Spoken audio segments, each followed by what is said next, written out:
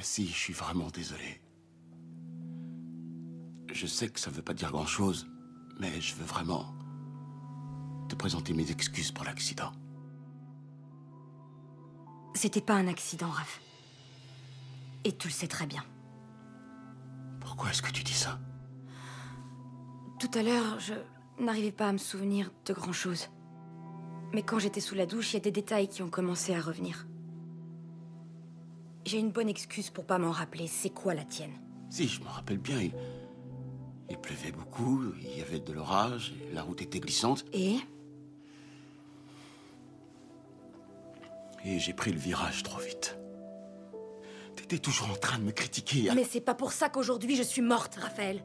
Et tu le sais très bien. Cassie, non, je... Je t'aime, mon ange. Jamais je ne t'aurais fait de mal, tu le sais. Oui, je le sais.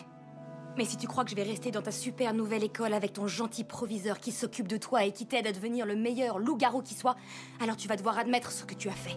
Je n'ai rien fait, je te dis. Pourquoi tu as pris ce virage trop vite? J'en sais rien du tout. Si tu le sais très bien, dis-le-moi. J'ai perdu le contrôle. Et tu m'as tué.